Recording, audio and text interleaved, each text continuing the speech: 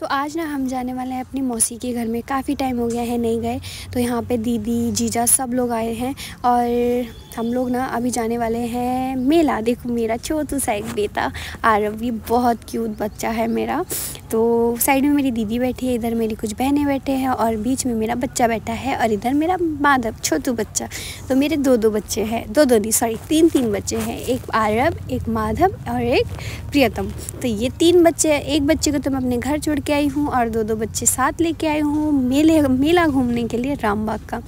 तो यहाँ मेरा रामबाग में ना पहली बार आना हुआ और गाइस बहुत भीड़ था, बहुत रश था। मेरे को मन नहीं हो रहा था कि मैं जाऊँ अंदर।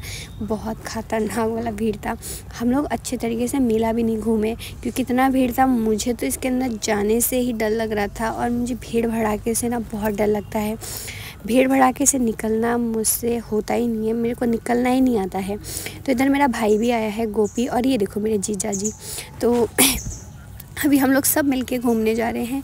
यहाँ पे आने का ना अलग ही मज़ा होता है क्योंकि मौसी रहती है मौसा जी भैया उसके बाद जीजा दीदी सब लोग रहते हैं। तो फिर मेरे को ना सब मेरे को और मेरे पति को ना मेरे रिश्तेदारों में मेरी मौसी का घर और मेरी नानी का घर बहुत पसंद है उनको। क्योंकि यहाँ पे उनको फ्रीडमली सब कुछ मिलता है फ्रीडमली सब मतलब क्या बोलूँ मैं आपको बहुत इन्जॉयमेंट करते हैं वहाँ पे। और आ, मुझे भी बहुत अच्छा लगता है क्योंकि सब लोग साथ रहते हैं और सब हमारे ही साइज़ के आई मीन हमारी उम्र के होते हैं। तो इसलिए मज़ा आता है बहुत ही ज़्यादा।